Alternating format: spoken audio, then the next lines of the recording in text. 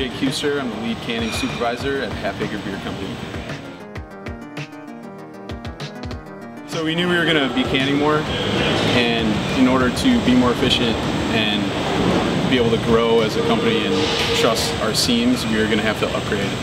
The old analog stuff and writing everything down on a piece of paper just wasn't going to cut it. It eliminates the human error factor, so we can trust the measurements a lot more. What I like the most is the ability to cut into the can and check the profile of the seam, because that way you can see exactly what your first operator looks like, exactly what your second operator looks like, take some measurements for you, and then you can move on to the next. So it's it's a lot faster, much more efficient, um, and just leagues better than what we were doing before. I would absolutely recommend this to other breweries, and I have.